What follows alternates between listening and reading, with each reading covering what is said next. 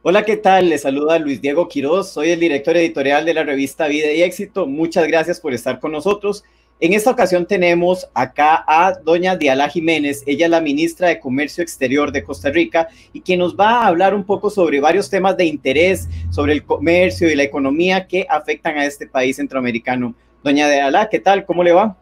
Hola, muy bien. Usted, Luis Diego, muchas gracias por este espacio. Gracias a usted, doña Diala, por estar aquí con nosotros y darnos pues un rato que sabemos que estos días son muy complicados para, pues, para todas las autoridades, ¿verdad? Así es, estamos con muchos desafíos y pues con las pilas puestas para ayudar y ayudar a que el, el impacto de la pandemia sea el menor posible. La primera pregunta que me gustaría hacerle es, ¿cuál es el estatus del comercio exterior en Costa Rica en este momento de la pandemia? Bueno, nosotros tenemos las últimas estadísticas, son las del cuatrimestre en bienes, en exportaciones de bienes, comparado con el primer cuatrimestre del 2019, eh, pues crecimos en un 5%. Eso es positivo porque la pandemia nos agarró, al igual que en turismo, ¿verdad? Nos agarró en una, pues crecida, en un aumento de exportaciones, incluso después de haber pasado un año muy difícil por el niño y el año antepasado con la huelga y los problemas que tuvimos en el puerto de Caribe, pues ya íbamos a comenzar a seguir creciendo, a llegar a nuestro máximo potencial eh, con un crecimiento importante en equipos de precisión y médicos, los dispositivos médicos, eh, pero también en jarabes para bebidas, en eh, dispositivos para estomas, en aceite de palma. Eh, nosotros íbamos también creciendo em, en café, en carne bovina, carne de res, en azúcar, eh, también en leche, pero estábamos ya empezando a ver algún decrecimiento en piña y en melón, por ejemplo, o banano. Entonces, pues así íbamos amortiguando unos bienes que crecían mucho con unos bienes que decrecían. Pero claro, el impacto total de la pandemia lo vamos a ver hacia finales de año o hacia el tercer trimestre. Precisamente, doña Diala, eh, por ahí va la siguiente pregunta.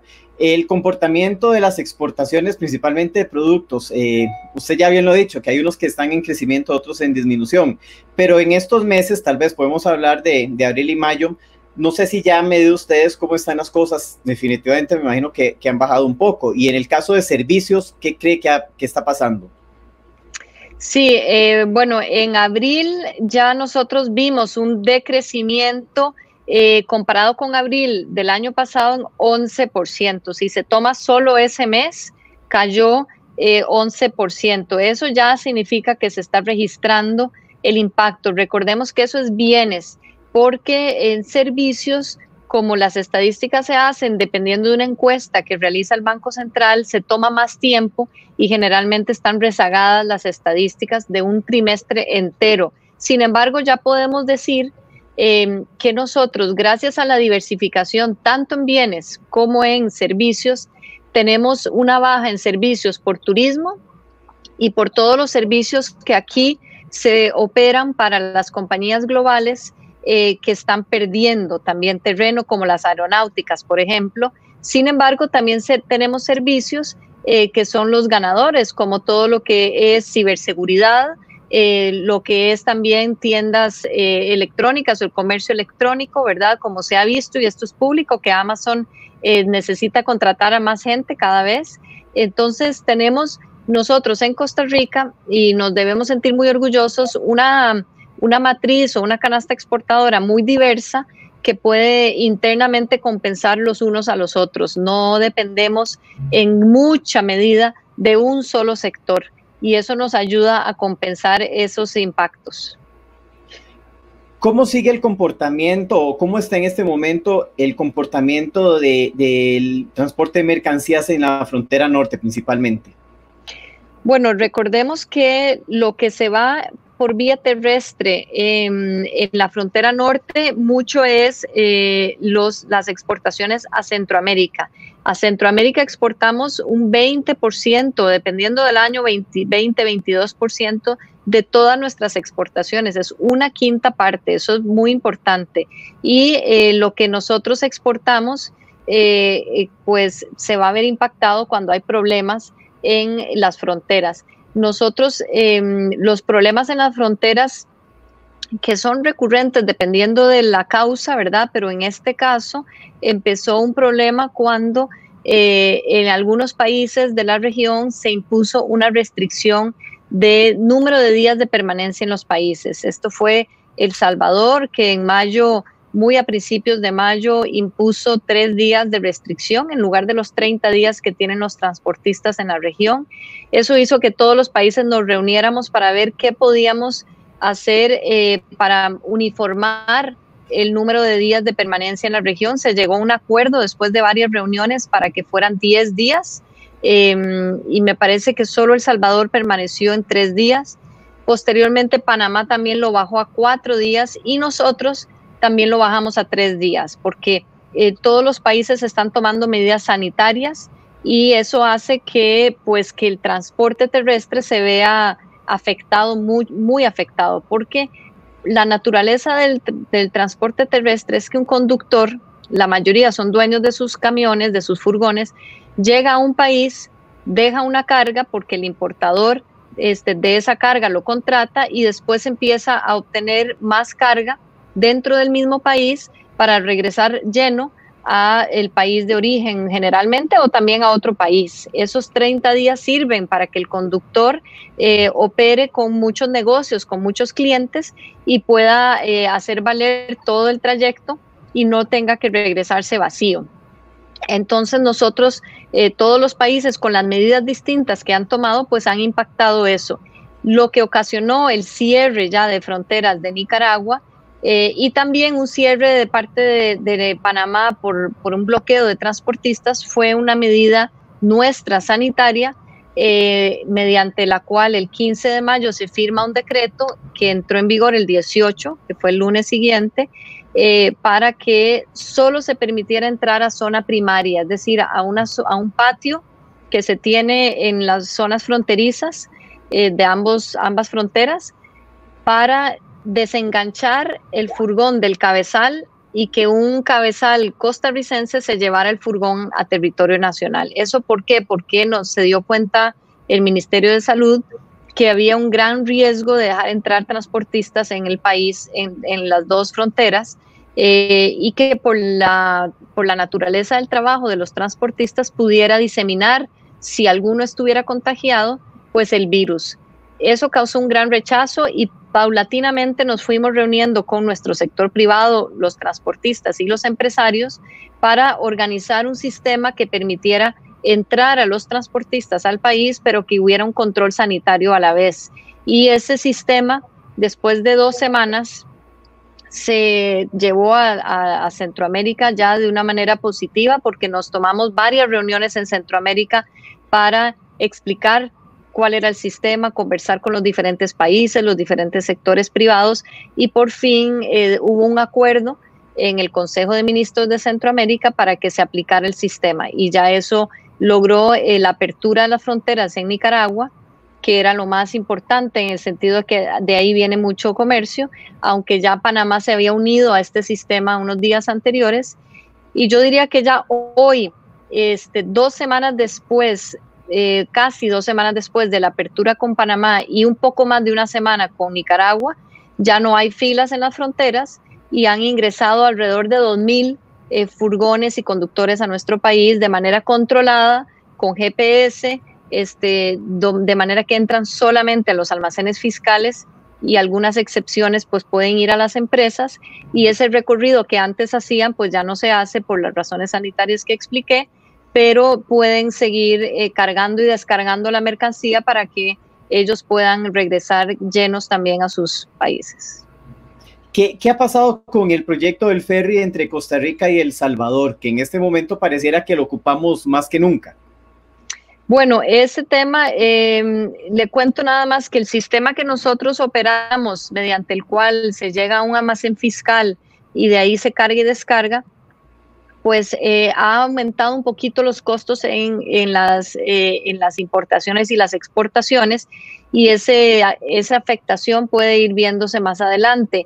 Con el ferry em, pues eh, es una opción que está, la opción marítima. De hecho, hay ya opciones marítimas que existen en nuestro país y que algunas empresas han optado por usarlas. El ferry es una opción que permitiría este, pues un, un este, una ruta directa eh, con El Salvador y también entiendo yo con Guatemala, pero eso ahora depende en gran medida de la decisión de la empresa naviera o las empresas navieras que quieran operar el ferry.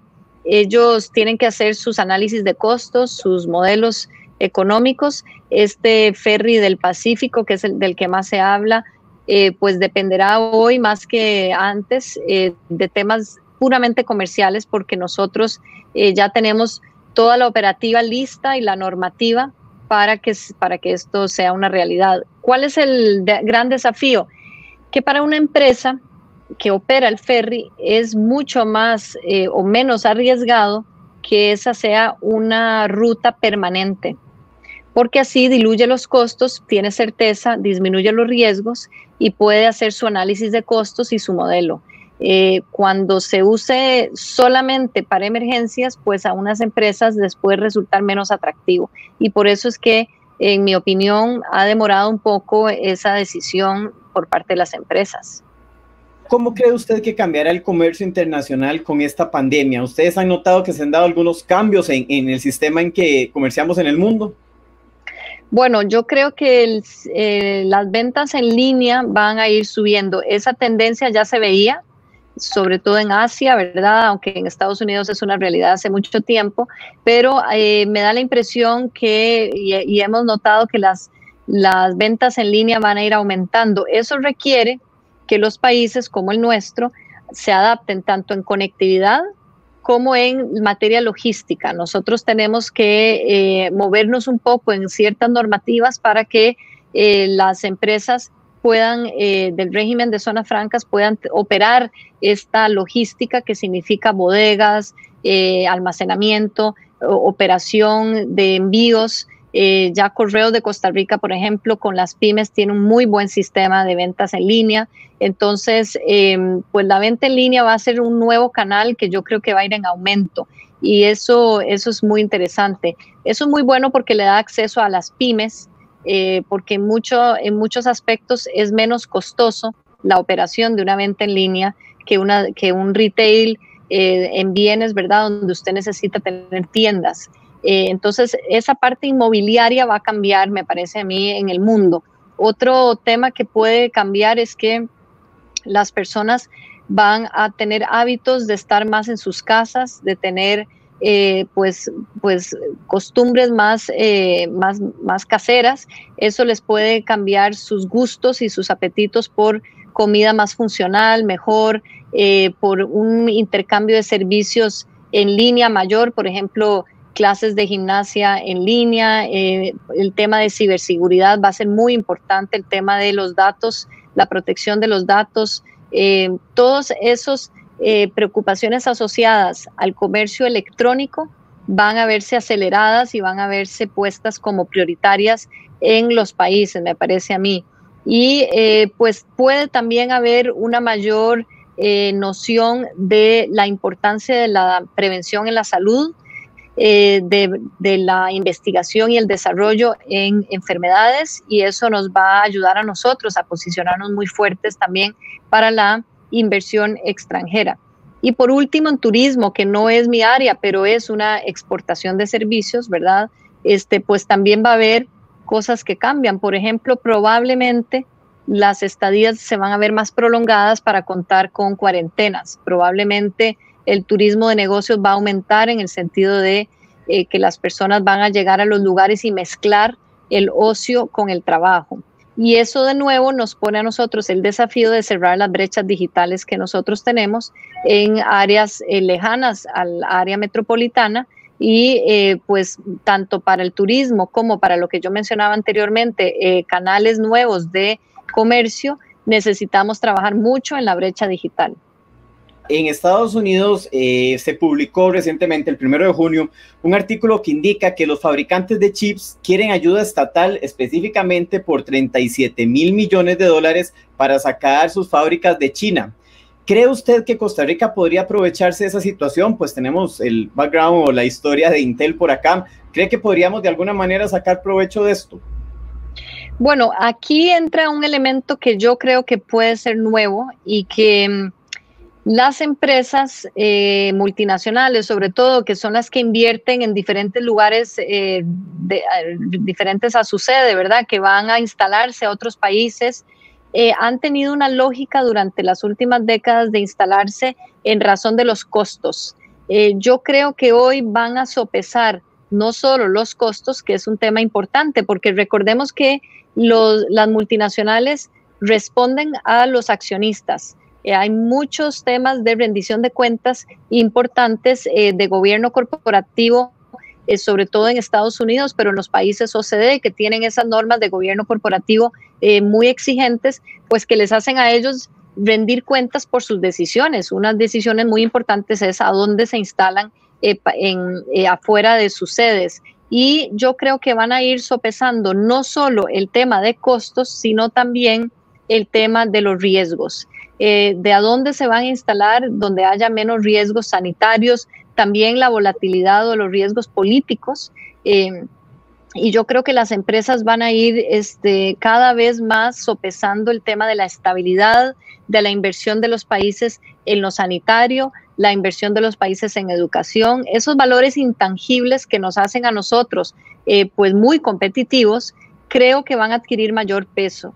Entonces, eh, en, tal vez en otros momentos donde la manufactura, sobre todo la manufactura pesada, no era nuestro nicho, porque nosotros tenemos electricidad y recurso humano caro, comparadamente, comparativamente hablando, eh, pues yo creo que eso va a pesar un poco menos. Ahora, quiero decir que me parece que hoy las empresas están tomando decisiones con prudencia, están analizando y observando qué pasa en el mundo con esta pandemia.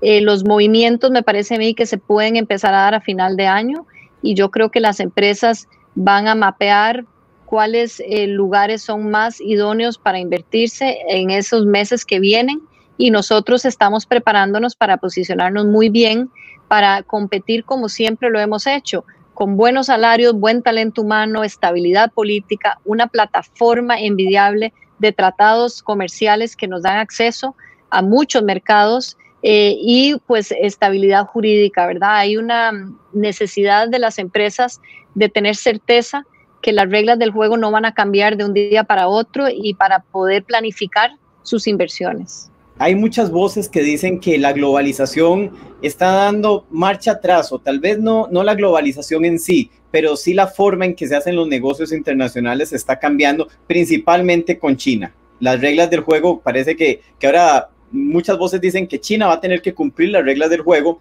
que el resto del planeta tiene. Eh, ¿Qué opina usted de, ese tema?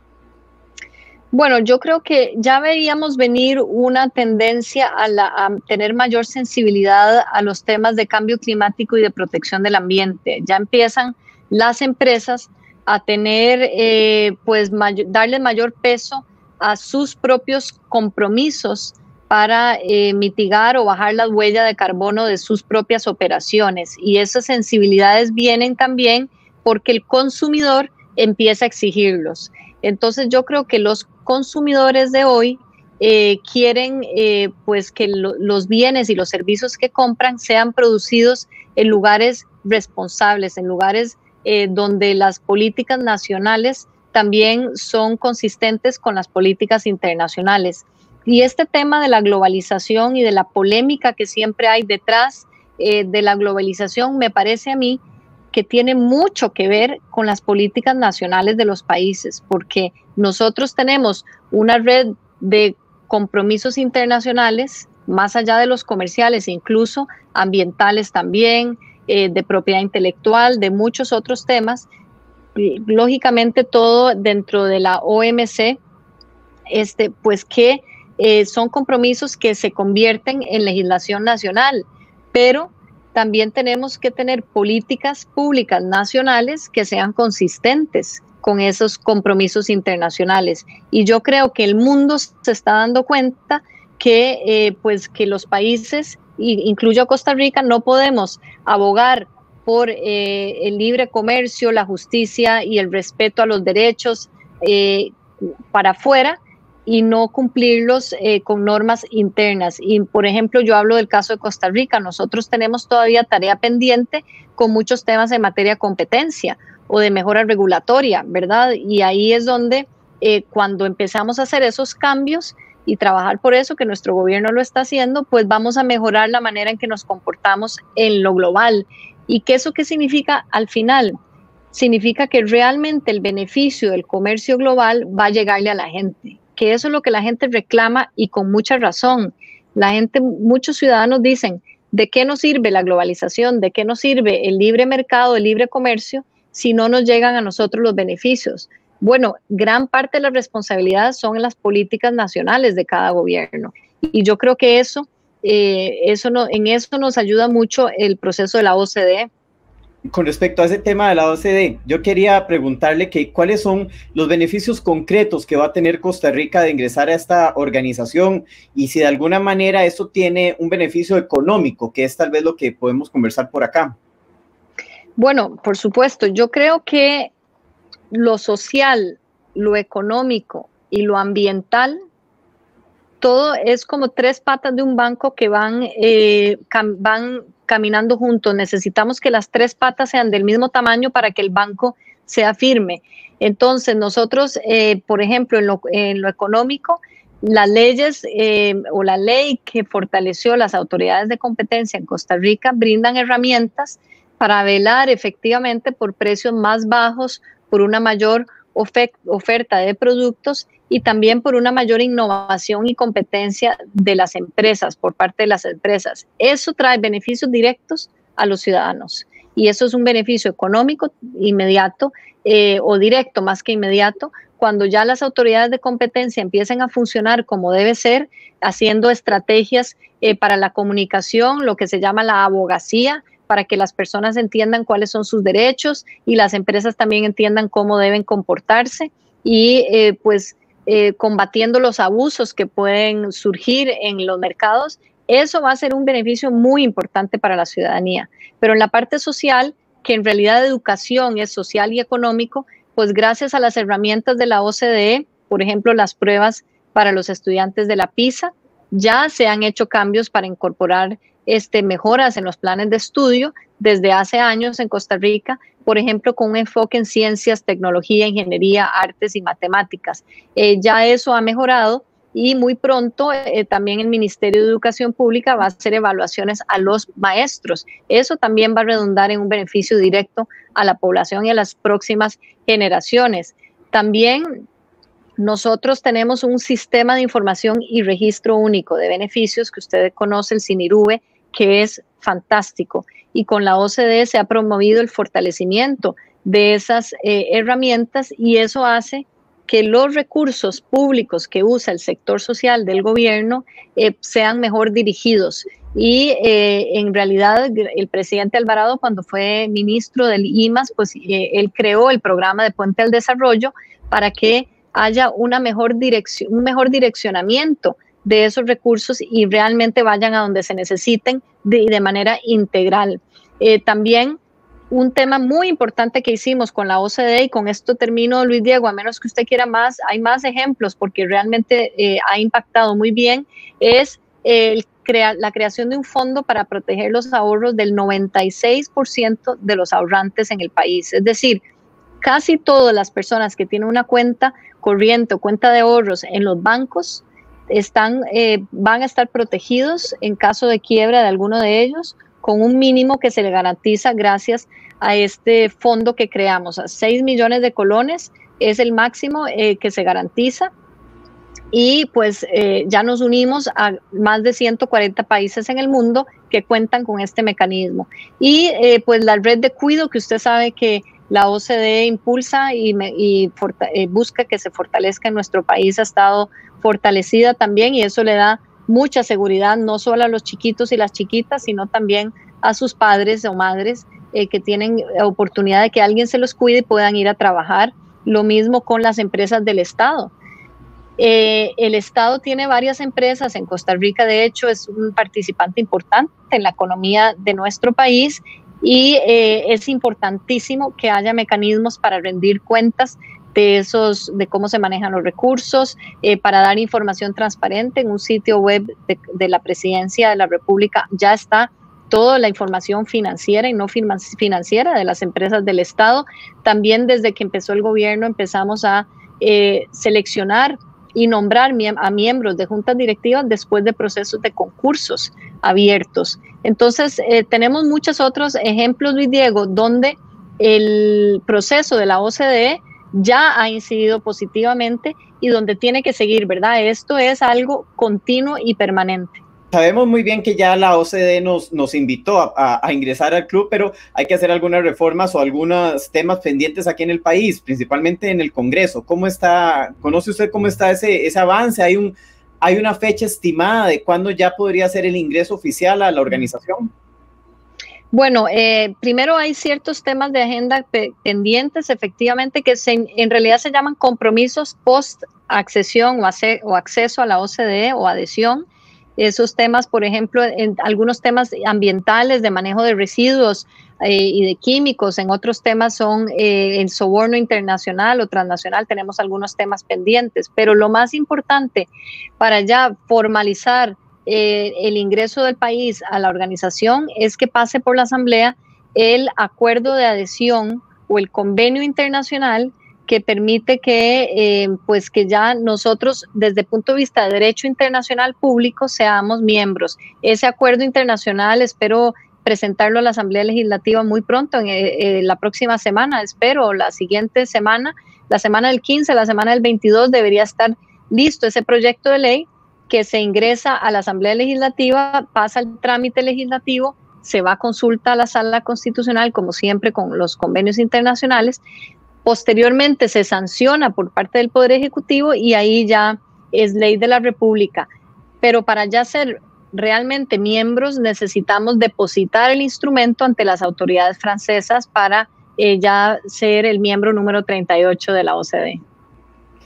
Muchísimas gracias, doña Diala. Gracias por su tiempo y, esperamos conversar en los próximos días para darle seguimiento a todos estos temas y conversar un poco más sobre lo que, cómo se comporta el comercio exterior aquí en Costa Rica.